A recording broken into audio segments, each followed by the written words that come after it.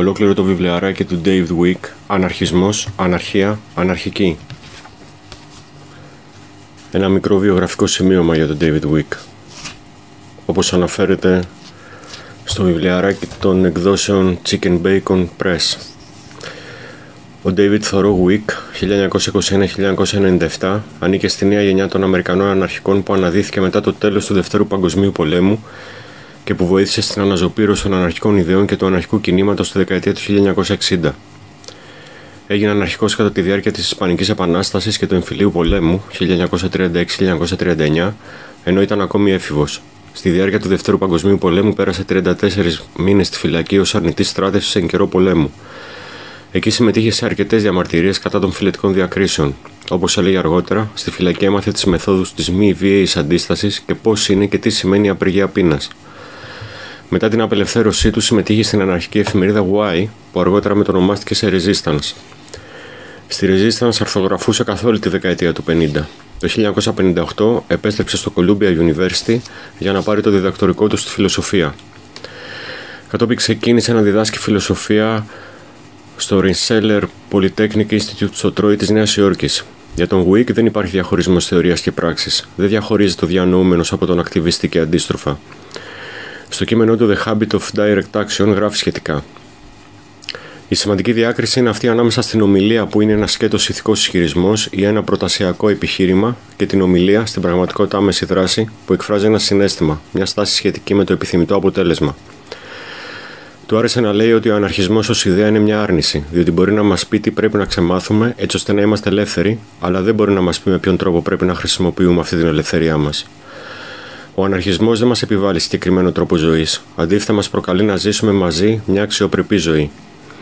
Να απαλλαγούμε από όλα τα απομεινάρια της κυριαρχίας της εξουσίας, να εμπιστευτούμε τη δύναμη των δικών μας ικανοτήτων, αλλά και να κατανοήσουμε τη δύναμη της αμοιβαιότητας. Πέθανε στο Όλμπανι της Νέας Υόρκης την 1η Ιουλίου του 1997. Αναρχισμός, αναρχία, αναρχική. Επιτρέψτε μας, εμάς τους αναρχικούς, να δηλώσουμε ποιοι είμαστε και τι πρεσβεύουμε. Αναγκαστικά θα μιλήσω σύμφωνα με τον τρόπο που εγώ αντιλαμβάνομαι τους αναρχικούς και τον αναρχισμό. Είμαστε άνθρωποι με αξίες, σκοπούς και μεθόδους εντελώς διαφορετικές από τις κυρίαρχε. Η συντροφικότητά μας δεν βασίζεται σε κάποιο δόγμα ή κάποιον καθημερινό προγραμματισμό. Μπορούμε εύκολα να διαφωνούμε στα παραπάνω, αλλά όχι στο εξής.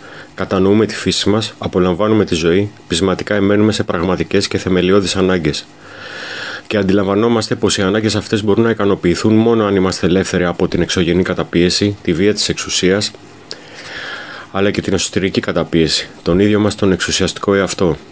Είμαστε άνθρωποι που πιστεύουν στην απελευθέρωση από την εξουσία και εμένουν σε αυτή τους την πίστη, αλλά και που θεωρούν ότι η ελευθερία υπάρχει σε καθένα άτομο ξεχωριστά. Είμαστε αυτοί που ισχυρίζονται και υποστηρίζουμε τη θέση μας αυτή ότι η ατομική ελευθερία και η απελευθέρωση από την εξουσία μπορούν να πραγματοθούν μόνο μέσα από την ευθύτητα. Η ελευθερία μόνο μέσα από την ίδια την πρακτική της ελευθερίας και η απελευθέρωση μόνο μέσα από την ίδια την πρακτική της απελευθέρωσης. Στον αιώνα που ζούμε, τον 20ο, οι καταπιεστές μας, τα προβλήματά μας και οι στόχοι μας έχουν συγκεκριμενοποιηθεί στα παρακάτω. Την πολιτική εξουσία του συγκεντρωτικού κράτους, την κυρίαρχη καπιταλιστική στρατιωτική πολιτική τάξη, μια αυξανόμενα περίπλοκη ακολουθία θεσμών που συνενώνει δεσμευτικά το κράτος και την κυρίαρχη τάξη με την κοινωνική οργάνωση και καθέναν από εμάς, έτσι ώστε η κοινωνία να βρίσκεται σε μια συνεχιζόμενη ένταση και βία. Με έναν παγκόσμιο πόλεμο να ακολουθείται από έναν άλλον παγκόσμιο πόλεμο, με στρατόπεδα συγκέντρωσης και στρατόπεδα εξόντωσης με διαφορετικές σημαίες και ιδεολογίες. Το πιο σημαντικό όμως είναι η συστηματική, αδίστακτη, αδιανόητη καταστροφή της αξίας της ζωής. Για παράδειγμα, σήμερα ο ιδανικά προσαρμοσμένος άνθρωπος αποτελείται από ένα πολύ μικρό πυρήνα ζωτικότητας, ο οποίος περιβάλλεται από μια πολύ μεγαλύτερη μάζα που περιέχει θάνατο, σύγχυση και βία.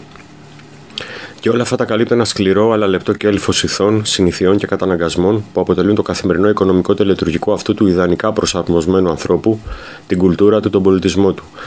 Αυτή είναι η πραγματική καταστροφή. Οι τεράστιες βόμβες είναι μια λογική, αλλά ηρωνικά περί τη συνέπεια. Σε αυτόν τον αγώνα, σε αυτή τη ζωή που είναι γεμάτη υποχρέωση, φόβο, καταπίεση, εκμετάλλευση, υποδούλωση, στρατιωτική πειθαρχία, θάνατο και το χειρότερο όλων, ζωή όμοια με θάνατο, έχουμε εξεγερθεί, έχουμε δείξει ανυποχώρητη ανυπακοή, έχουμε ζήσει ως φίλοι και γείτονες αλληλέγγυα και κοινοτικά. Εμείς, αυτή η χούφτα αναρχικών που πιστεύει ακράδαντα ότι η ζωή δεν χρειάζεται να έχει αυτά τα χαρακτηριστικά, που πιστεύει ότι εμείς δεν χρειάζεται να ζούμε έτσι, που πιστεύει ότι θα είμαστε ελεύθεροι. Ο ορισμός που δίνουμε διαχρονικά στην αναρχία γίνεται όλο ένα και πιο επίκαιρος σήμερα, την επόμενη μέρα μετά από έναν αιώνα που προκάλεσε αδυσόπιτες καταστροφές στο κίνημα, τους συντρόφους, τους φίλους και τους ξένους. Μια χούφτα ανθρώπων, ακόμα, αναγκάζεται φαινομενικά να επιλέξει ανάμεσα στην ψευδέστηση και την απελπισία. Την προηγούμενη μέρα, ενώ συμβαίνει κάποιο πυρηνικό γεγονός, εν μέσω μιας κρατεάς επίδειξης δύναμης από τα γιγάντια έθνη κράτη, σχεδιάζεται ο τυχαίος αφανισμός μας. Και φαινομενικά, χωρίς καμία προθυμία, οι γείτονέ μας συνεχίζουν τη συνηθισμένη τους εργασία. Μαζικέ δολοφονίες, δουλεία, στρατιωτική πειθαρχία και τα ρέστα. Αυτή η πραγματικότητα, η έλλειψη ακόμα και του προσωπικού ενστίκτου επιβίωσης, οι ψυχρές δολοφονίες από τους γείτονέ μας, αυτά είναι η ζωή. Πρέπει μήπως να αποσυρθούμε στα μουσεία και να μελετούμε τις ιστορίες της παραγμής των πολιτισμών, ή να συνάψουμε ειρήνη, να συνθηκολογήσουμε, ή να υπογράψουμε κάποια ανακοχή έτσι ώστε να καταφέρουμε να πεθάνουμε λιγάκι αργότερα και με περισσότερη ασφάλεια. Όχι φυσικά τη δική μας ασφάλεια. Ή μήπως πρέπει να δουλέψουμε σκληρά με ζωντάνια και αλληλοεπιβράβευση, να σκεφτόμαστε και να ελπίζουμε χωρίς ψευδεστήσεις και απόγνωση. Υπάρχει αυτή η δουλειά, αυτή ξεκάθαρα και χωρίς ψευδεστήσεις σκέψη, αλλά είναι πιο εύκολο να μην τη βλέπουμε και να μην την κάνουμε. Α υποθέσουμε το χειρότερο, ότι του λόγου χάρη, εάν μπορεί να υποθεί κάτι λόγου χάρη, οι γείτονές μας, ακόμη και οι φίλοι μας, καθώς οι εχθροί μας δεν μπορούν να μας απογοητεύσουν όπως οι φίλοι μας, είναι και θα είναι για πάντα έτσι ακριβώς όπως είναι, έτσι όπως τους ξέρουμε καλά. Ή κατά τον ίδιο τρόπο η κυρίαρχη κοινωνική τάξη παραμείνει αμετακίνητη από τη βασική της αρχή, τη δουλεία, Εάν λοιπόν συμβαίνει κάτι τέτοιο, κάποιοι υποστηρίζουν, ο αναρχισμός μας δεν έχει κανένα νόημα και οφείλουμε να γίνουμε ένα με τις ιδέες και τις πράξεις της κοινωνίας και του πληθυσμού της. Όχι βέβαια, όχι. Γιατί δεν είναι προτιμότερο κάτι επειδή είναι αναπόφευκτο. Όχι. Γιατί η ευτυχία και η υγεία μας δεν θα βασίζεται πια στην άρνηση αυτής της κοινωνικής μηχανής, των απάνθρωπων απαιτήσεών της και των ασφικτικών της όρων. Όχι. Γιατί ο άνθρωπος πρέπει να είναι όσο πιο ελεύθερος μπορεί. Γιατί πρέπει η επανάστασή του να είναι τόσο ορμητική ώστε να γίνεται αχαλήνωτη.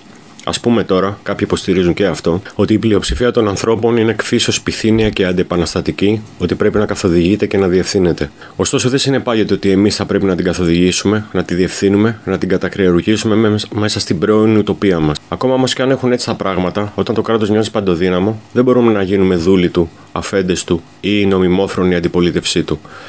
Αντιθέτως, προστατεύουμε τον εαυτό μας, προφυλάσσουμε τους φίλους μας, υπονομεύουμε το νόμιμο δικαίωμα εξουσίας του κράτους στο μυαλό των υπηκόων. Α υποθέσουμε τέλος ότι δεν υπάρχει καμία εναλλακτική στην καταστροφή. Θα μπορούσαμε τότε να είμαστε ρεαλιστές όπως μας προστάζουν να είμαστε και να υποστηρίζουμε τα συγκριτικά πλεονεκτήματα μιας βόμβας σήμερα ή σε δύο χρόνια από τώρα ή να υποστηρίζουμε έναν πόλεμο, δηλαδή να συμβάλλουμε στο ξέσπασμά του, να πολεμάμε ως στρατιώτες, να κατασκευάζουμε όπλα. Φυσικά όχι, εάν η πίστη μας έγκυται στη ζωή, την κοινότητα και την ελευθερία. Δεν θα καταφέρουμε να μετριάσουμε το κακό με το να συμμετέχουμε σε κάτι λιγότερο κακό, να σκοτώνουμε αγνώστους προ όφελο των καταπιεστών μας, αλλά με το να το αρνούμαστε συνολικά. Και πιστεύω ότι μια μέρα θα το καταργήσουμε. Αλλά ας μην δώσουμε στους ανθρώπους αυτούς το πιο δυνατό επιχείρημα το λεπτό παραπάνω. Μαθαίνουμε. Χρειάζεται αρκετή δουλειά. Από μέρα σε μέρα ξέρουμε, οι φίλοι μας απαγοητεύουν, αλλά όχι πάντα, ότι υπάρχει σε εμά, στους γείτονές μας, στους σταγνώστου, η δυνατότητα μια άλλη ζωής. Η εμπειρία και η γνώση μας μας λένε ότι η ανθρώπινη φύση δεν είναι αυτή που εκδηλώνεται εξαιτίας της υποδούλωσης. Εάν, λιγότερο αλήθεια από ό,τι παλιότερα, πιστεύουμε στην αξία της προπαγάνδας, της συνταρακτικής εξέγερσης, της γρήγορης επανάστασης, στο αναπόφευκτο ξέσπασμα μια μιας μαζικής αναρχικής εξέγερσης ενάντια στην οικονομική εξαθλίωση, τότε έχουμε μάθει αρκετά για τη δύναμη της άμεσης δράσης, της αδιαμεσολάβητης δράσης, της προσωπικής δράσης, της συλλογικής δράσης. Έχουμε μάθει ότι η επαναστατικό τη στιγμή της Επανάστασης δεν είναι τόσο τα οδοφράγματα, αλλά η ίδια η διαμεσολάβητη επαναστατική δράση, όπως μας δίδαξαν οι Ισπανοί αναρχικοί, ένα χωριό ή ένα εργοστάσιο είναι αρκετό. Έχουμε μάθει ότι ως αναρχικό κίνημα και ως συλλογικότητες που ζουν σύμφωνα με την ηθική και το νόημα του αναρχισμού, δημιουργούμε μια αναρχική κοινότητα μέσα στο επαναστατικό κίνημα και από αυτή τη νέα κοινωνία καταδεικνύουμε τις ιδέες μας και την πρακτικότητά τους. Έχουμε μάθει ότι ω ξεχωριστά άτομα καταφέρνουμε περισσότερα μέσα από μια κοινή ζωή που βασίζεται στην ηθική και τα νοήματα του αναρχισμού, δημιουργώντας ένα νέο περιβάλλον για τους μη αναρχικούς φίλους μας, δημιουργώντας τη νέα κοινωνία, μια νέα ζωή. Μέσα από την καθημερινή πρακτική της ζωής είμαστε ακόμα πιο εξοργισμένοι, πρικισμένοι με μίσος ενάντια σε έναν τρόπο ζωής όπως ο σημερινός. Αντιλαμβανόμαστε όλο ένα και περισσότερο στις καρδιές μας ότι πρέπει να ζήσουμε διαφορετικά, όλο ένα και πιο ξεκάθαρα, ψάχνοντας σε κάθε κατεύθυνση, η δύναμή μας μας παρέχει τρόπους και εργαλεία, φίλους και συντρόφους σε έναν αγώνα που πρέπει να έχει αυτή τη μορφή, τη δημιουργία της νέας ζωής ή τον συνεχιζόμενο θάνατο. Σίγουρα δεν θα μπορούσαμε να φανταστούμε μια πιο επίγουσα δουλειά, έναν πιο εξαιρετικό στόχο, μια εργασία πιο αρμονική με τους εαυτούς μας και τις ιδέες μας, σε όσους επιθυμούν μια άμεση, απλή πολιτική απάντηση στα προβλήματα της πυρηνικής ενέργειας, δεν έχουμε να δώσουμε καμία.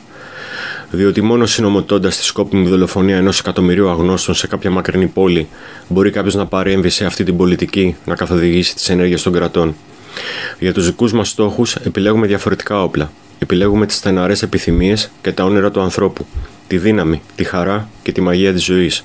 Μπορούμε να τα καταφέρουμε.